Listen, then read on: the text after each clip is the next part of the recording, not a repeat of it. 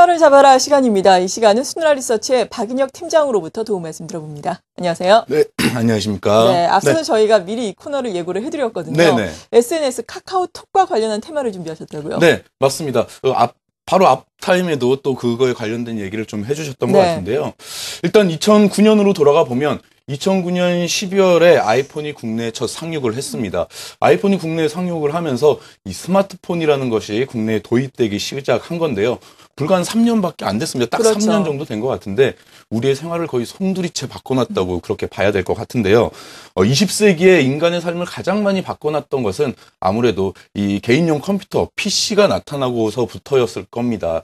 이 PC에서는 지금 현재 인터넷이라는 것이 가장 어, 이 PC에서 중심이 돼 있는데 가장 큰 거대 기업이 국내에 있죠. 바로 NHN이라는 기업입니다. 이 모바일에서는 이 NHN에 버금가는 기업, 이것이 바로 카카오라는 기업인데요. 어, 초기에 이제 문자 무료 서비스라고 할 수 있는 카카오톡의 보급으로 인해 문자해 대신에 이제는 카톡해라는 말이 더 대중화가 됐습니다. 네. 어, 현재는 6,600만 명의 사용자가, 어, 사용자를 가진 절대적인 거의 커뮤니케이션 이 됐는데요. 어, 이제는 카카오가 이제 카카오톡의 사용자를 기반으로 수익 창출에 나서기 시작했습니다. 이 문자 서비스는 무료였기 때문에 수익 창출이 아직 안 되었었는데, 이제 수익 창출을 하는 시기로 넘어간다. 굉장히 큰 의미가 있는 시기고요. 가장 대표적으로는 애니팡을 들 수 있을 것 같습니다. 어, 연락처가 등록된 친구들 사이에서 어, 게임 유저 간의 점수가 실시간으로 이제 순위가 이렇게 매겨지죠. 이 묘한 경쟁 심리를 불러 일으키면서 부분 유료에 바로 성공을 했습니다.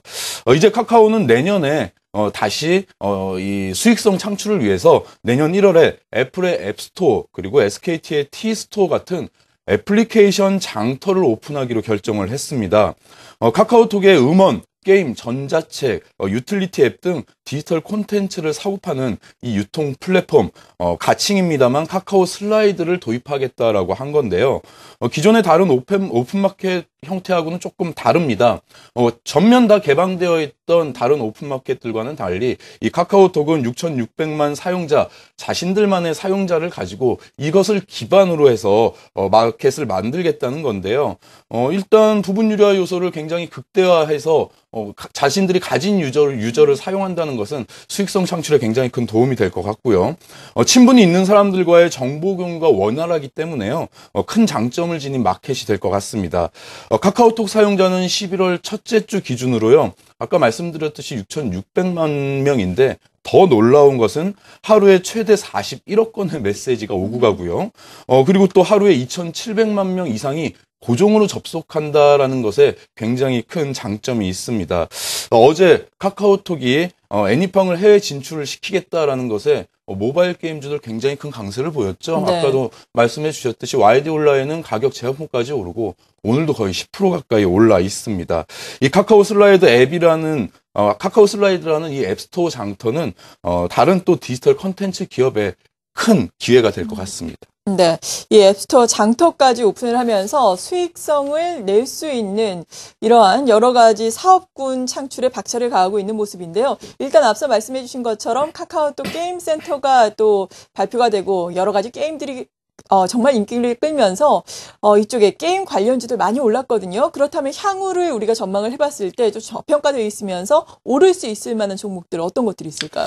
네, 어, 일단 오늘을 소개시켜 드릴 기업은 바로 대원미디어라는 기업입니다. 네. 일단 추억을 더듬어서 소시적에 뭐 떠돌이 까치라든가 달려라 하니, 영심이 등의 만화를 3, 40대 투자자분들은 모두 기억을 하실 것 같은데요. 이 애니메이션을 제작한 기업이 바로 대원미디어입니다. 어, 애니메이션 제작 및 판매 를 기본으로 하고 있고 이에 따른 캐릭터 라이선스 상품화 사업을 하고 있습니다. 어, 특히 만화책 컨텐츠의 양대 산맥은 대원 IC와 학산 문화사를 들 수 있는데 이 두 개 회사를 모두 자회사로 보유하고 있는 회사기도 하죠. 어, 전자만화책 컨텐츠 분야에서도 독보적인 1위 기업입니다. 한때 뽀통령이라 불렸던 뽀로로 잘들 아시죠? 이 라이선스를 또 갖고 있는 회사이기도 하고요. 네. 대원 미디어 여러분들이 아마 말씀해 주셨을 것 같습니다. 여러 가지 컨텐츠를 또 보유하고 있기 때문에 요즘에는 또 컨텐츠가 각광받는 세상이기 때문에 유망하다라는 이야기인데 이 카카오톡과는 구체적으로 어떤 연관이 있는 건가요? 네, 어, 카카오의 카카오 슬라이드 컨텐츠 장터가 열리면 네. 일단 컨텐츠의 유통이 더욱 활발해질 것이다라는 것에 이견을 다는 사람들은 없습니다. 어, 애플이 앱스토어 오픈 마켓이 열리면서 콘텐츠 기업들이 굉장히 급속도로 성장을 했고요. 애플은 또 이것을 기반으로 아이폰이라는 어, 지금 현 시대의 가장 최고의 히트작을 또 내놓기도 했었죠. 이는 주식 시장에서 또 음원, 엔터, 어, 전자결제 관련주에 이르기까지 관련 업종군들 종목들이 급등한 것으로 또 증명이 되기도 합니다. 어, 카카오 슬라이드의 런칭, 특히 게임 관련 분야와 전자책 컨텐츠 관련 분야가 가장 큰 수혜가 될 것으로 어, 보여지는데요. 어, 게임 관련 분야는 일단 애니판의 성공으로 미, 이미 증명이 되었다고 볼 수 있겠고 전자책 콘텐츠 분야는 어, 카카오의 김범수 의장의 또 다른 회사 포도트리라는 회사가 있습니다. 어, 이 회사가 지난해 이미 전자책 콘텐츠를 개발을 한 경험이 있고 서비스를 했었기 때문에요. 주력 서비스가 될 것이다라고 분석이 되고 있는데요.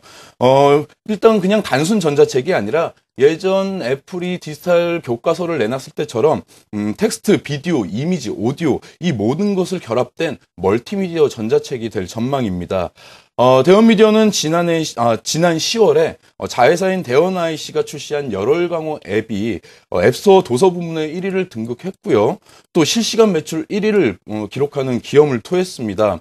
이는 만화 콘텐츠의 특성상 어, 자투리 시간을 편하게 즐길 수 있기 때문에 모바일에서는 가장 특화된 콘텐츠임에도 불구하고 지금까지는 크게 성장을 못했습니다. 이것이 바로 카카오 슬라이드의 런칭과 함께 굉장히 급속도로 커질 수 있다라는 점을 주목해 봐야 되고요. 네. 어, 따라서 디지털 만화 콘텐츠 이 부분에 있어서 또 모든 것을 포함한 멀티미디어 콘텐츠가 될 것인데 대원 미디어는 만화책뿐만 아니라 애니메이션까지 하기 때문에 그 부분에 큰 시너지가 있을 것 같습니다. 어, 또한 가지는 모바일 게임입니다. 어, 최근 모바일 게임 관련주 뭐 실적까지 좋아지면서 굉장히 계속 큰 상승을 하고 있는데요. 어, 대원 미디어도 이 짱구야 놀자 등을 통해서 모바일 게임 사업에 이미 진출을 했습니다. 어, 아동용으로는 최대 히트작인 파워레인저 등을 바탕으로 해서요. 또 어, 게임을 개발 중에 있어서 이 부분 또한 기대가 되고 있습니다. 네. 이렇게 여러 가지 컨텐츠로 성장에 대한 기대감은 확실하게 일고 있는데요. 하지만 실적을 보자면 실적이 그다지 좋지는 않거든요. 3분기에도 물론 적자폭이 많이 줄어들었지만 여전히 적자를 기록했다고 나오고요. 이것이 언제쯤 실적으로 좀 이어지면서 우리가 좋은 숫자를 좀 확인을 해볼 수 있을까요? 네, 투자자 여러분들이 아마 가장 어, 관심 있고 좀 예. 어, 투자를 꺼려하는 부분이 이 부분일 것 같은데 항상 대원 미디어의 발목을 잡아온 것은 바로 실적이었습니다. 지난 한 2년, 3년 정도 동안요. 하지만 지난 3분기 누적 영업이익을 일단 흑자로 돌리면서 턴어라운드를 시작했다라는 점을 주목을 해볼 필요가 있을 것 같고요. 이는 바로 이제 일본을 제외한 전 세계 판권을 가진 곤이라는 killer contents를 애니메이션으로 제작해서 현재 방송을 하고 있기 때문입니다. 어, 성공적으로 진입을 했는데 이 애니메이션 제작에 들어가는 투자 비용 거의 대원미디어가 50% 이상을 투자했습니다. 이 부분에 대한 비용 때문에 실적이 악화된 면도 굉장히 네. 컸었고요. 어, 이제는 투자 비용의 회수의 시기에 접어들었습니다. 어, 뽀통령이라 불리던 뽀로로가 7% 후반대의 시청률을 기록했었는데요. 이 곤이라는 애니메이션은 지금 현재 9% 후반대까지 시청률을 보이고 있습니다. 지금 현재 대선 기간이라 어, 정권 국내 정권이 바뀌려는 시기인데 아이들의 대통령도 이제 뽀통령에서 곤으로 좀 정권 교체가 되는 것 같습니다. 네. 어, 뽀로로는 사실 마진이 많이 남지 않는 그런 캐릭터였는데요. 고는 굉장히 마진이 많이 남는 그런 캐릭터입니다. 왜냐하면 투자, 어, 제작부터 투자를 굉장히 많이 했기 때문에요. 어, 이익이 굉장히 많이 남는 구조라서 이 부분으로 캐시카우를 해서, 캐시카우로 해서 turnaround에 실- 어, 성공을 하고요. 내년에는 500억 중반대 매출과 영업이익을 60억 원 이상 낼 것으로 전망이 됩니다. 여기에 카카오 슬라이드의 launching으로 인해서 그 성장은 점점 더 가속화될 전망이고요. 네, 지금 주가의 흐름을 보니까 10월 고점에서 다소 조정을 받은 이후에 바닥권에서 다시금 오름세를 보이고 있는 양상인데요. 투자 포인트 좀 정리를 해볼까요? 네, 어, 제 카카오가 애니팡 해외 시장, 어, 해외 게임 시장에 진출한다는 소식으로 모바일 게임주들 굉장히 강했다라고 계속해서 강조가 되고 있습니다. 여기에 이와 함께 카카오는 다른 수익성으로 인해 다른 수익성 창출을 위해서 카카오 슬라이드라는 이 오픈마켓 앱 장터를 또 열게 되었죠. 이는 일단 애니메이션 그리고 디지털 만화 콘텐츠 그리고 모바일 사업 이 부분으로 가장 큰 수혜가 있을 것 같은데요. 이 부분 모두를 하고 있는 대원 미디어를 주목해 볼 필요가 있다라는 점입니다.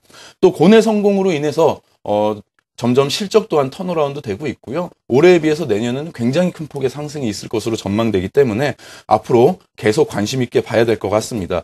단기 목표가는 일단 전고점인 15,000원 정도로 잡을 수 있을 것 같고요. 어, 장기적으로는 꾸준한 계단식 상승이 가능한 또는 계단식도 좀 가파른 계단식 상승을 할 수 있는 그런 기업이기 때문에 올해 내년까지 꾸준히 어, 관심을 갖고 지켜봐도 될 것 같습니다. 음, 네, 테마를 잡아라 카카오톡의 선정과 더불어서 또 상, 상승을 할 수 있는 대원 미디어에 대해서 자세한 내용 들어봤습니다. 스누라 리서치의 박인혁 팀장이었습니다. 고맙습니다. 감사합니다.